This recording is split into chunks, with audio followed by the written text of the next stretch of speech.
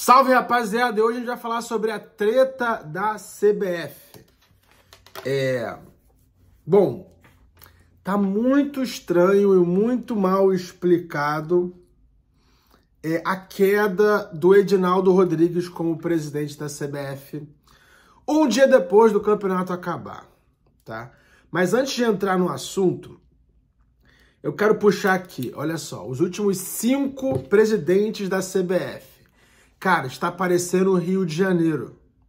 Governo do estado do Rio de Janeiro.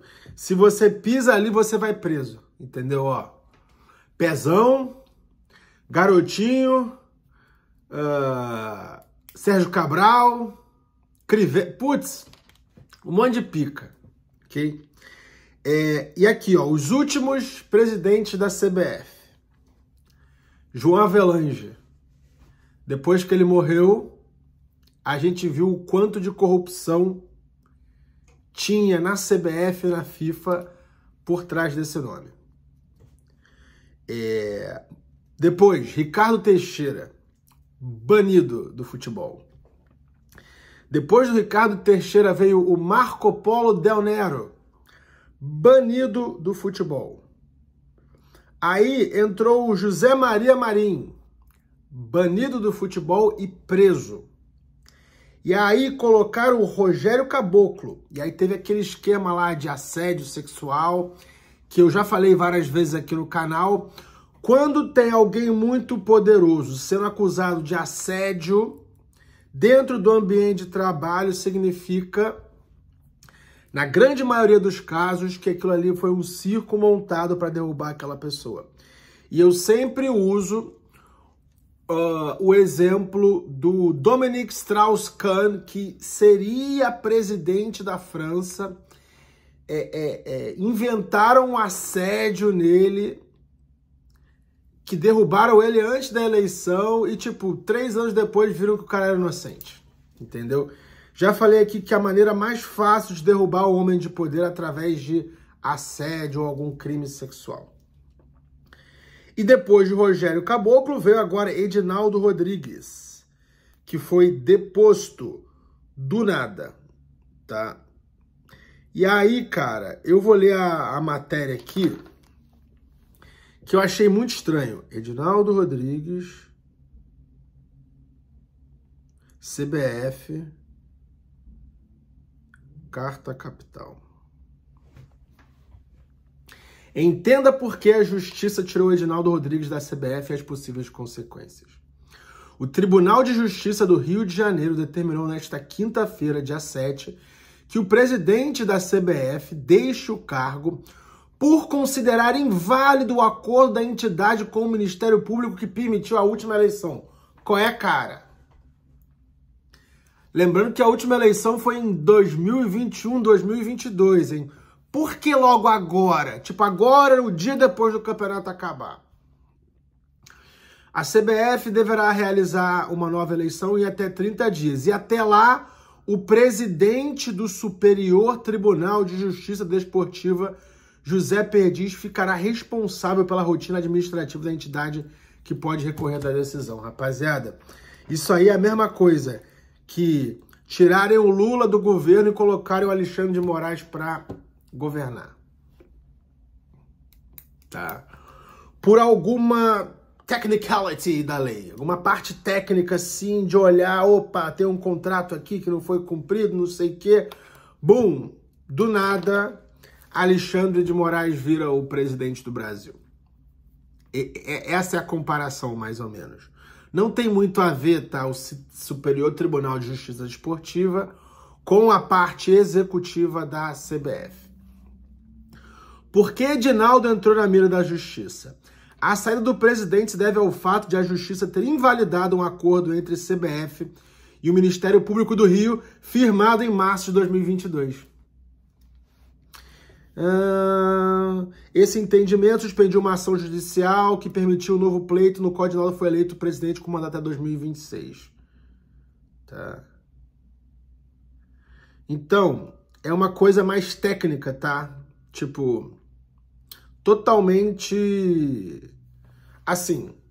A, a, matéria fala, fala, fala, mas não diz nada sobre o porquê que derrubaram o Edinaldo Rodrigues e botaram o cara do jurídico como rei, tá?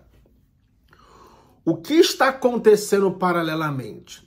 Ano passado, tivemos um grande escândalo de apostas no Brasil, que, querendo ou não, foi varrido para debaixo do tapete. Como foi varrido para debaixo do tapete? Condenaram meia dúzia de jogador de terceiro nível, sem mídia, sem fama. Porra, jogador assim. Acho que o maiorzinho era o Bauer, o Aleph Manga, mas condenaram meia dúzia de jogador e varreram debaixo do tapete. Porque se cavassem mais, iam ver que tinha, além de cartolas grandes envolvidos, como grandes jogadores envolvidos. Tá? Ia dar merda. E aí, passa um ano pra frente. Cara, eu tô até preocupado com a integridade física do John Textor. Tá? Tô preocupado porque ele é um cara que está sendo justiceiro, lutando pelo certo, o certo pelo certo, lutando contra a corrupção. Só que parece aquele filme do Velozes e Furiosos no Brasil. Oh, oh, oh, this is real. Tá?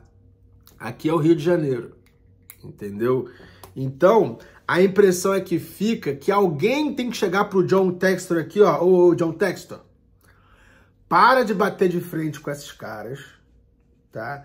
Senão você vai amanhecer com a boca cheia de formiga. Isso aqui não é Estados Unidos não, John Textor. Por que, que eu estou dizendo isso?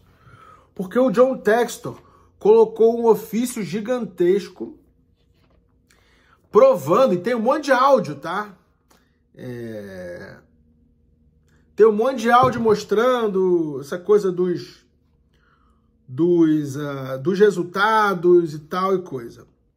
O problema é que, impressionantemente, no dia que o Edinaldo caiu, o STJD assumiu e arquivou o processo. Tá? Do...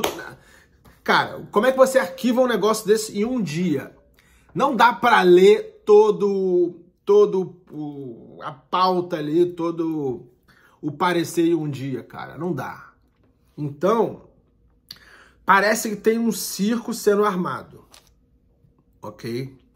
Muita gente culpada pelo meio, um whistleblower sem muita coisa a perder, tá? Lembrando que o John Texas não tem muita coisa a perder, não. Ah, mas assim, ele vai perder o Botafogo, foda-se o Botafogo para ele.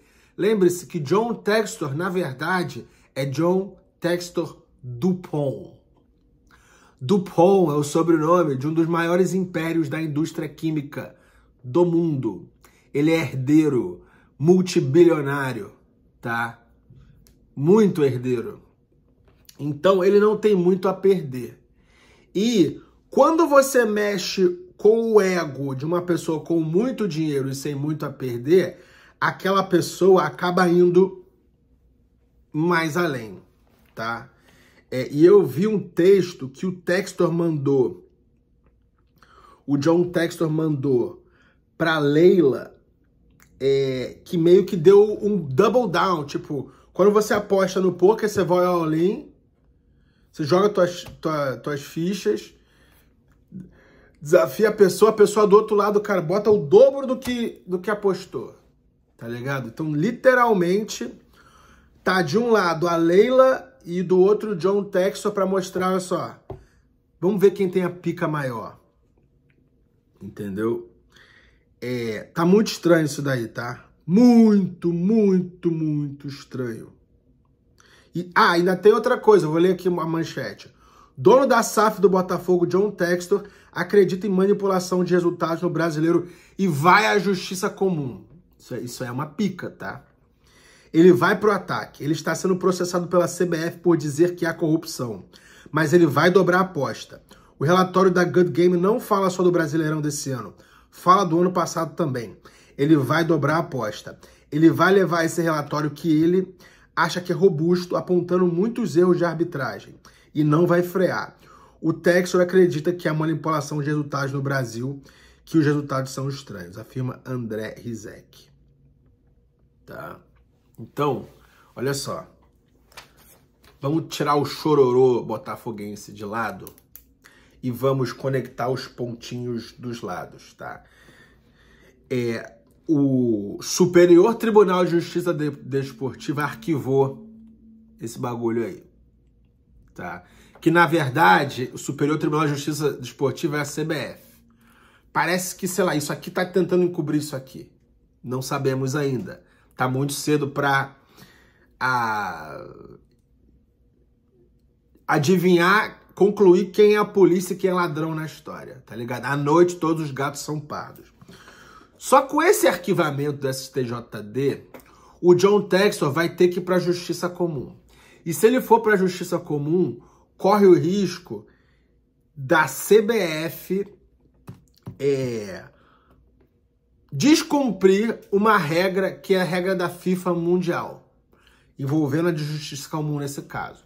E o que pode acontecer? Pode acontecer que o Brasil fique fora da Copa do Mundo, de Libertadores, da porra toda, tá? Então, está se armando um círculo, um escândalo de corrupção bem estranho, tá? Nós, brasileiros, infelizmente, temos que torcer para o lado da corrupção. Infelizmente. Por quê? Porque se o John Textor estiver certo e provar que estiver certo, o nosso futebol vai pra puta que pariu e nós corremos o risco de ficar fora da Copa. É isso. É, é basicamente isso, tá? Tá muito cedo para analisar algo, mas as cartas já estão na mesa. Vamos acompanhando aqui no canal, tá? Mas assim, o John Textor parece ser o grande whistleblower da história. O estudo que ele, que ele botou lá, o processo que ele botou lá, não é só para Botafogo, tá? É para melhorar o futebol brasileiro em geral, de manipulação de resultado, de roubalheira, de lance estranho, de cartão vermelho contra o Palmeiras, essas coisas, tá? É para o futebol brasileiro em geral. Só que quando ele botou dinheiro no Botafogo, faltou alguém avisar que isso aqui é Brasil, tá? E eu juro para você que eu acho que o gringo está mexendo com o ninho de marimbondo. E aqui acaba o meu vídeo. Tamo junto, é só o começo.